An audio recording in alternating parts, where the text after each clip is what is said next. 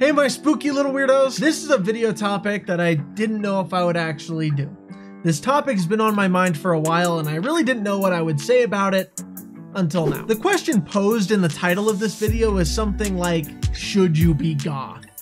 Now I can understand why some of you might have a problem with that question. Chris, I am goth because that's how I feel on the inside, or something like that, right? It is important to consider the phrasing of this question. Should you be goth? I am not asking you if you should wear all black and heavy eyeliner and listen to gothic music and fill your house with bat shaped and coffin shaped memorabilia. That is not what I'm asking. I am asking if you should identify with the title of goth. This is a video I wish I had heard when I was getting into the goth subculture. It is a video that wasn't around, and so I'm gonna make it for you. Most of you don't know this, but I considered myself goth from the age of 12 to the age of 21. Now it's important to note, I didn't just wear all black and dye my hair black and call myself goth. No, no. I went the whole, whole distance. I did trench coats, platform boots, eyeliner, lipstick, nail polish, all of it. As some of you might know all too well, dressing goth is not easy. From everything costing a fortune and having to DIY most things yourself, you do get the occasional jerk off who glares at you and calls you names. Things like emo and school shooter that we've all heard a million times. There are some really nice people out there that will stop you and say, hey, I really like your look. And that's really cool. So I'm not saying that this is a reason not to dress like this. Dress like this if you want. I'm just stating the reality that a lot of us have to deal with, or in my case, had to deal with.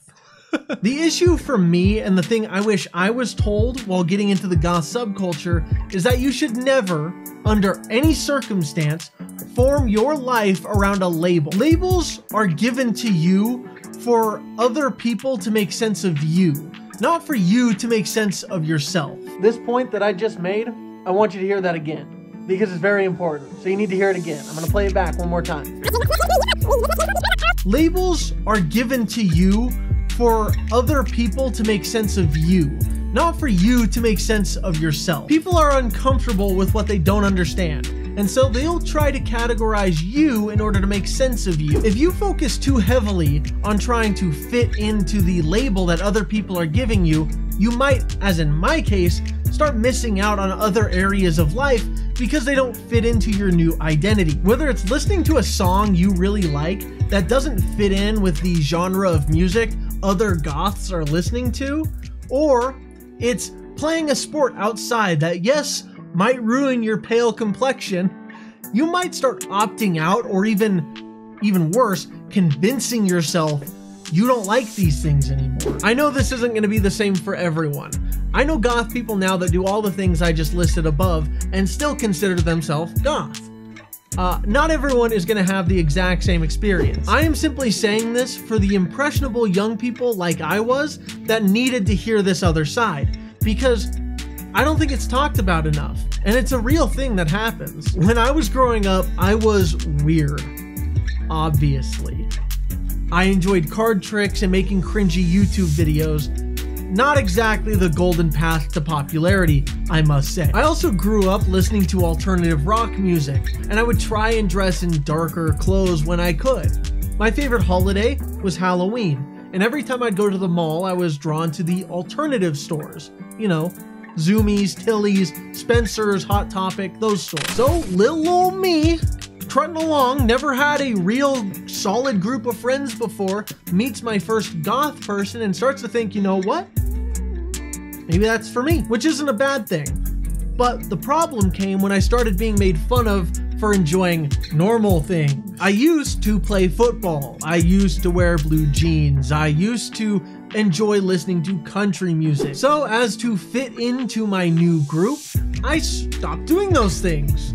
Ironically, because I cared what people would think about me, even though I convinced myself I was doing this because I didn't care what people were thinking about me. Strange, right? I missed out on my opportunity to play football in high school, and I'm never gonna get that opportunity back.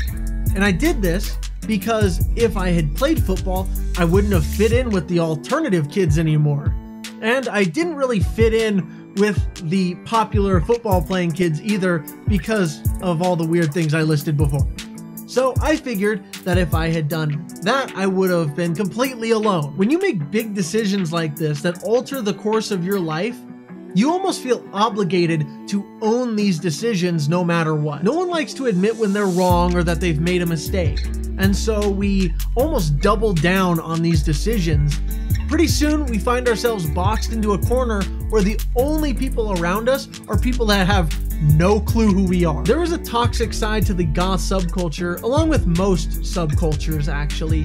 This elitist mentality where if you do this or you don't do this, then you don't fit in. At the end of the day, I thought all goth is supposed to be is love and appreciation for the darker things in life, not hatred and disdain for things that aren't the darker things in life. To this day, I still wear all black most days. But now my playlist is also consisted of The Platters, NF, Keith Urban, as well as The Cure, Croc Ongren, Cradle of Filth. I listen to whatever I want, whenever I want. I basically also dress however I'm feeling at the time. I have an obsession for horror and filmmaking, as well as going golfing with my friends and hiking with my little dogs, which are right here. That's Ember. I don't know where Timber is. Oh, he's on this side of me. There's Timber. At the end of the day, just be true to yourself. Don't let what other people want or don't want for you navigate you in any direction. Find out who you are and what you like. And if something feels right to you, don't give it up just to fit in. Also, on the flip side, if you start acting against other people's suggestions, as I did out of spite, that is also allowing people to control you. So consider this next time your parents try to get you to play sports. It might not be that they're trying to control you necessarily. It could simply be that they see that you're going to miss out on an opportunity that you might regret later. So stay true to yourself. Think about what you really want.